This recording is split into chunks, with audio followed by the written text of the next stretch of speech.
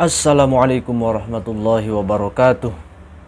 Bismillah, alhamdulillah, wala hawla wala quwwata illa billah. Wassalatu wassalamu ala rasulillah wa ala alihi wa sahbihi wa man tabi'ahu ila yaumil qiyamah. Jumpa kembali bersama saya di channel Once Official. Oke guys, pada kesempatan kali ini saya akan membahas sebuah berita yang beredar pada beberapa hari ini mengenai insiden yang terjadi kepada Ustadz Abdul Somad. Setelah Ustadz Abdul Somad mengalami deportasi dari Singapura lalu Ustadz Abdul Somad mendapatkan undangan dari Sumeneb Madura Jawa Timur. Tapi banyak isu atau banyak berita yang beredar bahwasanya Ustadz Abdul Somad ditolak di Madura. Jadi pemberitaannya ini sangat luar biasa setelah ditolak dari Singapura dan akhirnya sekarang ditolak lagi di Madura. Itulah yang mereka beritakan pada beberapa hari ini. Jadi luar biasa orang-orang munafik ini, kaum-kaum buzzer ini membuat berita bohong, membuat berita hoax. Nah, langsung saja kita lihat berita yang beredar mengenai penolakan Ustadz Abdul Somad di Madura. Yang pertama saya kutip dari suara.com. Jadi mereka memberitakan disebut penceramah radikal ratusan santri tolak Ustadz Abdul Somad ceramah di Madura. Itu berita yang pertama. Lalu yang kedua, dituding radikal ratusan santri gelar aksi tolak kedatangan UAS di Madura lumayan ngeri-ngeri sedap juga beritanya guys jadi ini kaum-kaum buzzer yang, yang menyebarluaskan berita-berita hoax, berita-berita bohong. Lalu ini yang ketiga, ditolak di luar negeri, UAS juga ditolak masuk tanah Madura. Wah kacau, kacau. Berita bohong semua guys. Nah selanjutnya saya mengutip dari channel Benteng Akidah dituliskan oleh channel YouTube Benteng Akidah di komunitas YouTube. Ini salah satu otak provokasi di Madura. Doakan semoga segera tobat dari Syiah dan menyesali banyak ulahnya memecah belah Islam. Jadi salah satunya ini seorang tokoh yang bernama Husin Alwi. Dia membuat tweetan di Twitter @husin sihab Husin Sihab, saya bersama santri Madura tolak uas ceramah di Masjid Jami Sumeneb. Nah, jadi luar biasa Pak Husin Sihab ini selain dia selalu melaporkan para ulama, para habib, ternyata dia juga memprovokasi para santri untuk menolak kedatangan Ustadz Abdul Somad di Sumeneb, Madura, Jawa Timur. Ya kita doakan saja semoga Pak Husin ini mendapatkan hidayah dari Allah Subhanahu wa taala. Jadi dengan adanya deportasi Ustadz Abdul Somad di Singapura itu ternyata ini menjadi sebuah sasaran empuk, menjadi sebuah kabar gembira untuk kaum-kaum buzzer, menjadi sebuah mata pencaharian untuk mereka membuat berita, untuk mereka menjadikan konten-konten. Bisa disaksikan di channel-channel YouTube, di berita-berita Para buzzer itu membuat berita yang sangat berlebihan, bahkan mereka membuat berita hoax dengan terjadinya deportasi Ustadz Abdul Somad di Singapura. Jadi berita yang sebenarnya, fakta sebenarnya Ustadz Abdul Somad ini disambut meriah oleh warga Madura. Kita saksikan begitu banyak foto-foto yang beredar, video yang diupload oleh channel-channel yang mencintai Ustadz Abdul Somad dan oleh teman-teman Ustadz Abdul Somad bahkan pemerintahan Madura pun menyangkal tentang adanya penolakan Ustadz Abdul Somad di Madura. Nah, coba saya bacakan berita yang sebenarnya apa fakta yang terjadi di Madura ketika Ustadz Abdul Somad mau berdakwah di Madura. UAS ditolak masyarakat Madura ternyata Nah, ada ternyatanya nih, berarti menandakan berita itu adalah berita bohong. Kabar Ustadz Abdul Somad atau UAS ditolak masyarakat Madura ternyata hoaks. atau berita tidak benar. Informasi itu dibantah Ustadz Hilmi Firdaus di akun Twitter miliknya. Ustadz Hilmi yang merupakan sahabat UAS mengunggah sejumlah foto aktivitas Ustadz asal Asahan, maksudnya Ustadz Abdul Somad. Sumut itu di Madura, Jawa Timur. Dalam foto tersebut tampak UAS berdakwah di depan lautan manusia.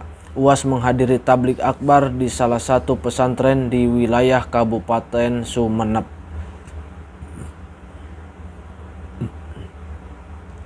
Foto-foto tablik akbar UAS di Pondok Pesantren Al-Amin Sumeneb ini menjadi hoaks yang menyebut UAS ditolak masyarakat Madura, kata Ustadz Hilmi.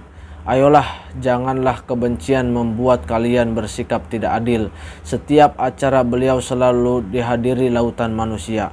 Masyarakat begitu mencintai UAS, segelintir saja yang tidak suka. Sambung pengasuh pondok pesantren Quran As-Sa'adah itu. Sebelumnya, selegram digital yang menginformasikan bakal ada demo bakal ada demo menolak kehadiran sang ustadz viral di media sosial.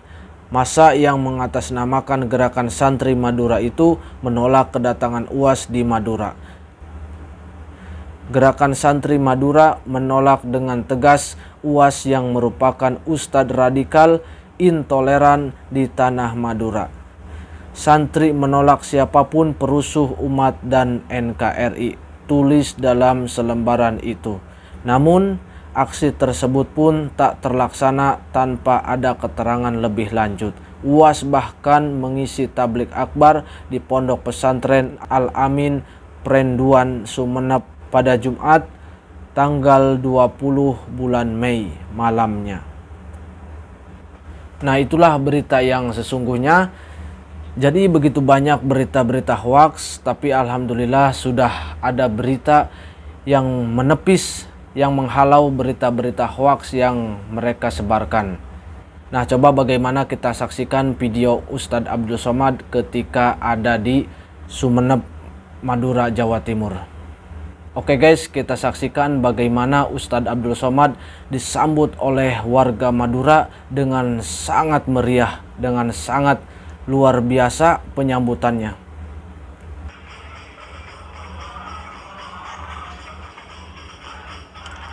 Insya Allah ini Ustadz Abdul Somad masih di dalam mobil. Wah, di pinggir-pinggir jalan pun sudah banyak jamaah yang menyambut Ustadz Abdul Somad. apalagi nih kaum ibu-ibu nih.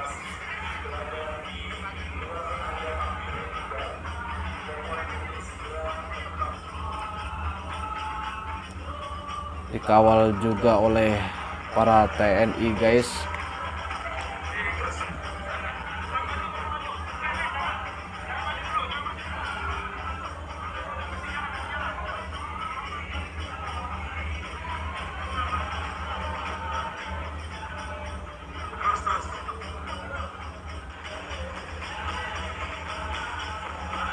Oke coba kita percepat. Nah ini guys Ustadz Abdul Somadnya. Sudah disambut dan sudah naik ke atas panggung. Dan Ustadz Abdul Somad pun menyapa para jamaah Masya Allah Tabarakallah. Ternyata yang hadir lautan manusia guys. Masya Allah ini bukan 1000-2000 orang guys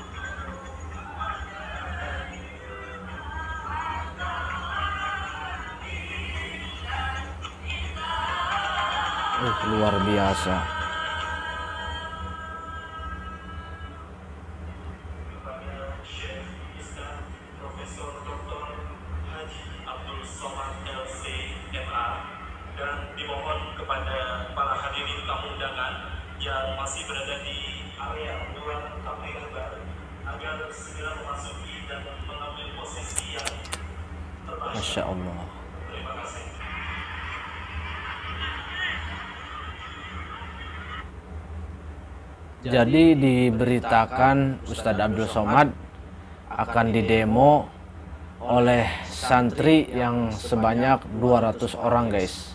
Jadi Ustadz Abdul Somad akan ditolak kehadirannya atau kedatangannya ke Madura oleh 200 oleh santri sejumlah 200 orang. Tapi kita saksikan di video ini ini ribuan guys yang menerimanya. Ini ribuan yang menyaksikannya guys. Waduh 200 orang yang nggak ada apa-apanya guys. Coba kita lanjutkan guys.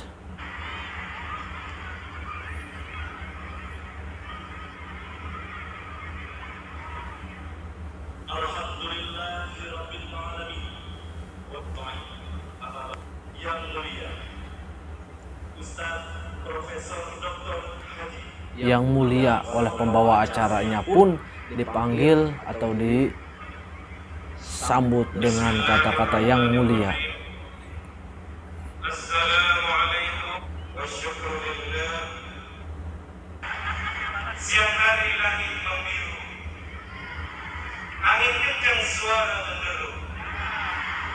Kiai Haji Doktoran Do- Kiai Haji Doktor Ahmad Fauzi Tijani. Nah, ini pimpinan pondok pesantren Al Amin itu, guys.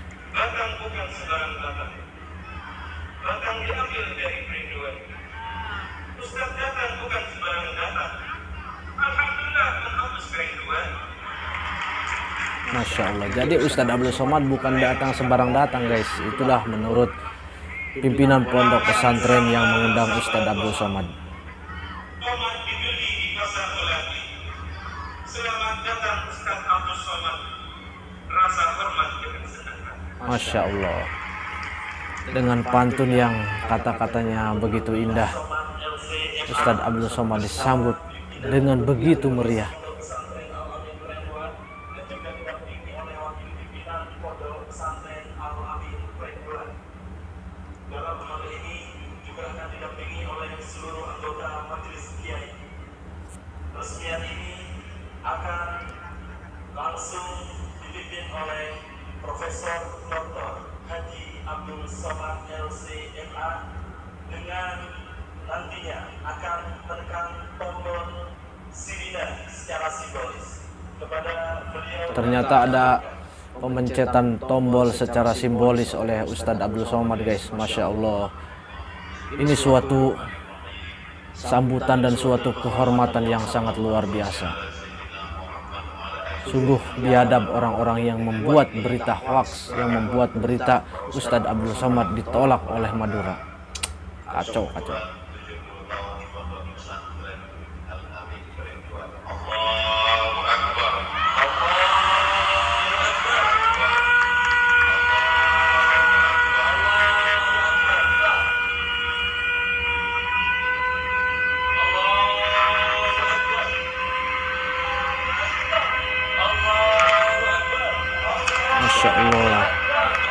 begitu meriahnya guys.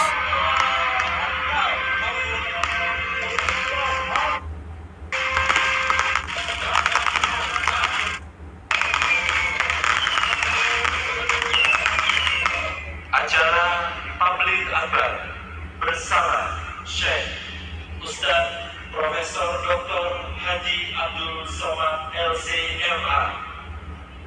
dengan tema mencetak generasi munzirul qaum yang mutafaqih fidin kepada yang mulia Al Ustaz Profesor Dr. Haji Abdul Somad LCMA kami haturkan. Perlu kami beritahukan kepada seluruh para hadirin bahwa beliau Ustaz Haji Abdul Somad LCMA ini pengajian Ustadz 2019 Profesor Dr. Haji Abdul Somad MA. oleh pimpinan dan pengasuh Pondok Pesantren Al Amin Prenduan yaitu Kiai Haji Dr.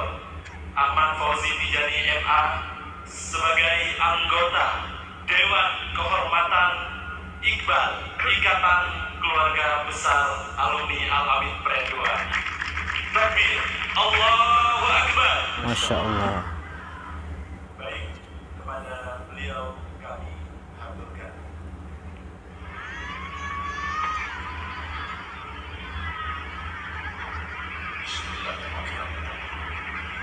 Assalamualaikum warahmatullahi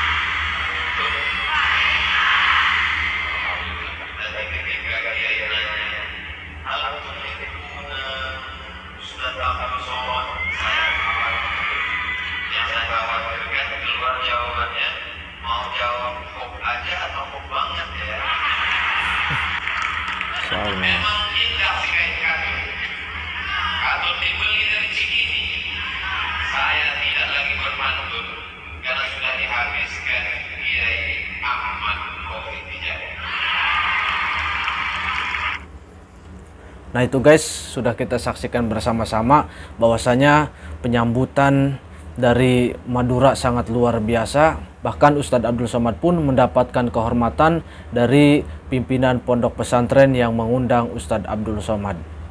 Ini penyambutan yang sangat luar biasa.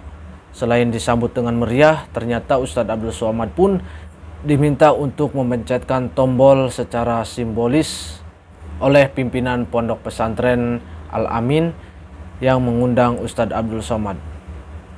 Nah oke okay guys, pada kesimpulannya sekeras apa pun, sekuat apa pun kebohongan itu direncanakan, kebohongan itu dibuat, pada akhirnya kebohongan itu akan kalah dengan kebenaran dan berita hoax akan kalah dengan berita yang real. Sekarang sudah zamannya canggih, sekarang sudah zamannya digital. Kemajuan teknologi yang sangat luar biasa ini, jadi kalau kita cerdas mencari berita, kalau kita cerdas mengambil informasi, kita tidak akan menjadi orang yang mudah dibohongi, kita tidak akan mudah menjadi orang yang begitu saja menelan berita hoax. Nah oke okay guys, itu saja berita atau video yang saya sajikan pada kesempatan kali ini. Kurang lebihnya saya mohon maaf. Bilahi taufiq wal hidayah. Wassalamualaikum warahmatullahi wabarakatuh.